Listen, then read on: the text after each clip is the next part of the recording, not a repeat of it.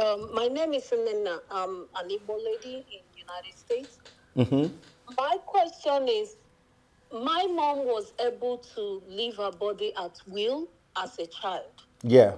without anything. I'm born raised Christian Pentecostal, and I also lived to uh, you know places I don't know. I see my late siblings and my late mom. They give me instructions. I see people even before I meet them, and whatever. Even my nieces, little nieces of six, seven, nine, ten, they're all seen doing the same thing. It scares me. No one to talk to. Nobody trained us on anything like that. We never killed any animal for sacrifice or anything like that.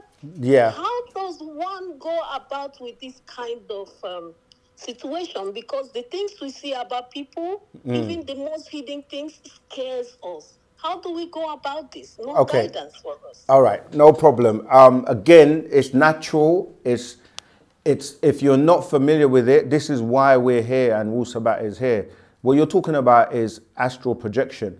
We're supposed to know how to leave our body at will and come back, but we've been dumbed down and taught to be afraid of these things. And as I explained before, there are different realms, and you travel to these different realms. Um, most people do it in what they call sleep, or they think they're dreaming and they go to different realms and come back. But there are different types of dreams. So not every situation is going to be, you know, every every incident has to be isolated and taken on its own merit. But this is why you need to be you need to be taught and to learn how to control your abilities because you do have higher powers, higher senses, telepathy, um, clairvoyance, intuition, psychometry. These are things that you need to be taught on how to to use them properly. And spiritual practices come with you being taught about your spiritual counterparts. So this is something that we are here to do. Um, in the Pentecostal church and those types of churches, they do get into this situation where disembodied, what we call roaming spirits, can try to take over your body and fuse with you because you have the living and you have the dead. The dead are trying to utilize the living, and it's very important to know how to protect yourself.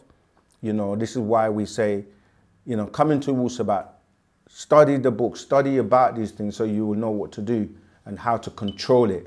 Because some people are waking up, many spiritual people are waking up now. They they're doing these things, but it's random and they don't know how to control it. They're scared, and this is why the master teacher Pana Babyanun is here.